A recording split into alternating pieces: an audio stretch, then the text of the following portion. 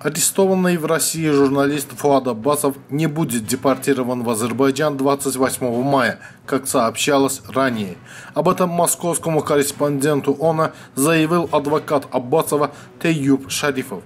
По его словам, депортация журналиста отложена на неопределенный срок, так как в суд верхней инстанции была подана жалоба в связи с решением о его депортации – мы подали апелляционную жалобу в областной суд Москвы на решение суда города Химки о депортации Фуада Аббасова.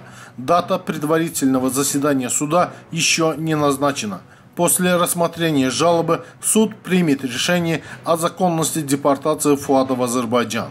Напомним, 16 мая полицейские города Химки задержали Фуада Аббасова за нарушение миграционного законодательства.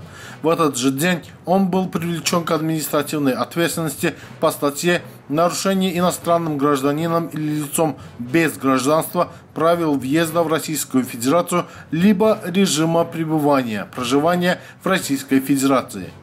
Аббасов был помещен в Центр временного содержания иностранных граждан в городе Королев Московской области. 17 мая суд принял решение о его принудительном выдворении из России.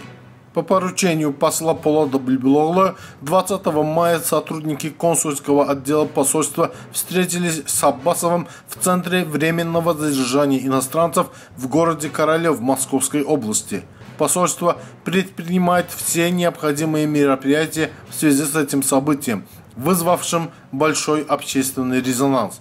20 мая адвокат Эльман Пашаев встретился с Аббасовым. Адвокат сказал, что 26 мая решение о депортации Фуада Аббасова из России вступает в силу. 28 мая его уже могли выдворить из России.